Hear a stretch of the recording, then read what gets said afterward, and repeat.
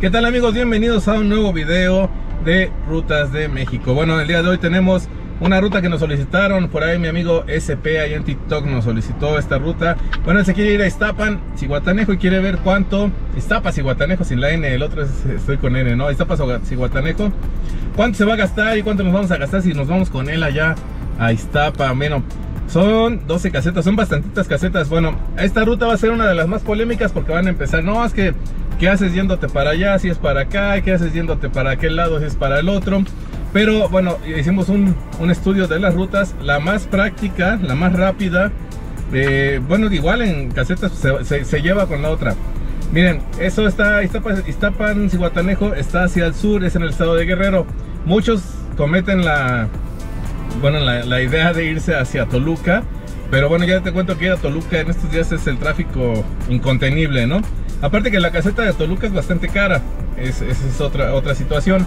Lo que vamos a hacer es irnos hacia, hacia Jorobas. De Jorobas nos vamos a ir a Morelia, de Morelia vamos a bajar todo Michoacán, vamos a bajar toda la orillita y vamos a llegar a Iztapan. Esa es, esa es la ruta que tenemos propuesta para el día de hoy. Como siempre, ustedes dejen en los comentarios la mejor ruta que ustedes consideren. Nosotros es la que estudiamos. Yo me puse ahí a estudiar ahí con, con personal especializado de carreteras y supimos que, que es la mejor ruta porque irse a Toluca, aparte tienes que ir pagando más casetas, es pues puede ser la ruta más económica, la que tenemos hoy, vamos a nombrarla así, la más económica, también la más rápida, la más segura, porque irte por las libres de Michoacán y Guerrero es otra historia, esa la dejamos para otro video. Bueno, vamos a iniciar, son 12 casetotas hasta Iztapas y el Guatanejo, desde Zócalo, Ciudad de México, ya saben, lo primero que vamos a hacer es agarrar circuito mexiquense, y nos vamos a ir hasta el entronque con los Reyes con Zumpango. Pagaremos nuestra primera caseta, no son muchos, son 18 kilometritos. La de Tultepec son 59 pesos.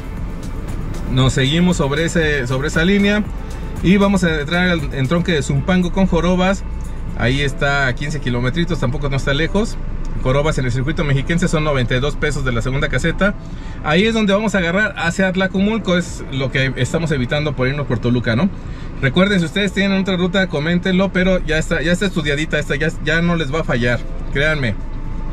Es más, si alguien, si alguien la hace y dice que no le gustó, dejen en los comentarios para que hagamos ahí un estudio. Es más, vamos a tratar de hacerla en, tiempo real para que vean que es la mejor ruta. Vámonos por la tercera caseta que es la Atlacomulco.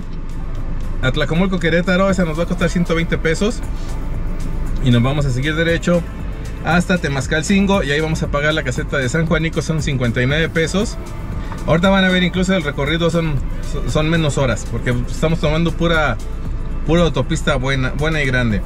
Después de esto nos vamos a ir hacia Contepec, vamos a pasar Temascalcingo, el entroque de Tlapujagua y en Tlapujagua vamos a agarrar hacia Marabatío y pagamos la caseta de Contepec, son 59 pesos. Esa es nuestra quinta caseta. Y ahí ya vamos a empezarnos con los nombres complicados bueno, complicados para mí, ¿no? Que pues no, le estudio mucho ahí al, dialecto michoacano. Pero de Tlalpujagua vamos a agarrar Marabatío y ya vamos a agarrar la caseta de Sinapecuaro. Ahí está, está fácil, todavía lo puedo pronunciar. Tomamos la caseta de Sinapecuaro, esa nos cuesta 182 pesos. Después de Sinapecuaro, vamos a seguir el entronque de Morelia hacia Las Trojes, de Las Trojes a Siragüen, y en Siragüen vamos a pagar otra caseta que se llama Siragüen, es de 41 pesos la caseta de Siragüen. Seguimos derecho, ya unos 20 kilómetros adelante, 30 kilómetros vamos a encontrar el entronque de Simi, sí, a ver, vamos a despacito. Su, su, mu, cuapio, Susumucuapio, bueno, creo que se, se dice así. Susumucuapio, ese nos va a costar 58 pesos esa caseta ya estamos bajando hacia el sur, ¿eh? ya no se me espanten que, andaban yendo hacia Querétaro cuando es hacia la playa, pero ustedes tranquilos, sigan mi consejo. Después de eso nos vamos a seguir hacia el entronque de los cajones y vamos a pagar la caseta de Taretán. Ahí nos va a costar 65 pesos. Seguimos, seguimos nuestra ruta. Esa, carretera que les digo está, muy bonita, ¿eh? la verdad se, me van a agradecer cuando regresen, que está padrísima. Van a pagar la caseta de Santa Casilda después de eso en Nueva Italia. Pasan Nueva Italia. Hasta les conviene por ir puebleando. La verdad que está muy bonito Michoacán para ir puebleando. Pero si lo tuyo es irte a la playa, tú dale. La, carretera te va a ayudar. Desde después de Santa Casilda vamos a seguir a Nueva Italia Las Cañas. Es el entronque de Las Cañas y es la caseta de Las Cañas, 118 pesos. Seguimos derecho, seguimos derecho hacia Entronque de Feliciano. En nuestra última caseta de 118 pesos y prácticamente estamos ya en Iztapa. Después de esto ya nada más te sigue 64 kilómetros y llegas a Iztapa. Ya, ya es la última caseta, la de Feliciano. Con eso hacemos un total de 12 casetas. Si es una lanita, miren, en, casetas son 1036 pesos. Ahí está, 1036 pesos. De gasolina, recuerden, un auto de 4 cilindros. Por ahí me preguntan, ¿cuál es el mejor auto para ir a, carretera? Todo. Miren, eh, antes se tenía la idea de que pues, un carro grande, robusto y fuerte, ¿no? Pero pues ya casi no usamos de esos, ¿verdad? Porque nada más, solamente que vivamos en la carretera. Regularmente ya todos usamos esos carritos chiquitos. El Spar, el i10, el, Honda Fit, ¿no? El City, puro carrito chiquito. Y en esos carritos nos vamos a gastar 788 pesos de gasolina. Son, ¿cuántos kilómetros? 653 kilómetros en esa ruta que hicimos. Les digo, la vuelta pareciera, pero la verdad que no es mucho comparado con las casetas y la carretera libre de ahí de la zona de Toluca o la caseta de Toluca. La verdad te vas a ahorrar muchas horas. Solamente vas a hacer 6 horas 35, así como que estamos haciendo la ruta que te, que te recomiendo. Y en total de, de monedas te vas a gastar 1824 de ida, 1824 de regreso. Bueno, pues ahí está la ruta que nos solicitaron en TikTok. Recuerden, si ustedes quieren alguna otra ruta, por ahí tenemos ya varias varias que nos piden, nos preguntan mucho sobre los, los carros, sobre qué vehículo es el, el, mejor, cuál es el que ahorra más. Bueno, puedes tener, por ejemplo, a lo mejor yo tengo este i10 y tú tienes otro i10, pero si no lo afina, no lo tienes con sus cambios de aceite, no lo tratas bien, te puede gastar el doble de gasolina que este. Recuerden darle mantenimiento a sus autos, tenerlo siempre cuando vayan al mecánico no se lo dejen, quédense ahí, siéntense con él para que vean que se hace las cosas. A lo mejor ustedes no entienden, pero pues él ya sintiendo la presión, este, pues ya así lo va a hacer, ¿no? Porque hay mecánicos que tú se lo dejas, vas y vienes, nada más le pasan la frenela y te dicen, ya se lo ajusté, este, venga, venga rato a pagar señora, porque ahorita se lo ajusto en dos horas. Siéntense ahí, es uno de los consejos. En carretera recuerden cinturón de seguridad. Por ahí nos hicieron un comentario en la ruta de Cancún. Sí se nos pasó, se nos pasó algo muy, muy, muy importante. Es un tramo larguísimo, igual aquí el de, el de Iztapa.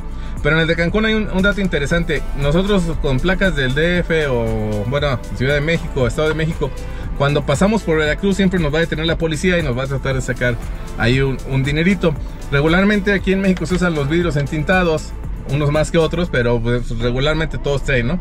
Entonces, este, pues ahí bajen sus vidrios cuando van a la patrulla, siempre alertas, lleven sus papeles en orden, sus seguros, sus placas, todo en orden porque en Veracruz sí les va a salir caro andar andar este fuera de la ley, que les falte un foquito, que les falte este una calavera atrás, que les falte algo, ahí sí cinturón y todo porque ahí, ahí sí les va a salir caro. También para Michoacán, pero la verdad en Michoacán son muy muy flexibles, así que más tranquilos pueden andar. Ahí dejen en los comentarios cómo les han ido en sus viajes, los recorridos, si nuestros estimados están muy lejos de la realidad o, si andamos cerca. Les digo, son estimados, puede variar un pesito arriba, un pesito abajo, en las horas, dependiendo, pues igual a lo mejor tú dices, no, por ahí me han escrito unos que traen este, tremendos carros y dicen, no, pues es que yo hago 5 horas, hago 3 horas y media, hasta, no sé, hasta Cancún, ahí me ponen este, unos horarios este, bien inimaginables.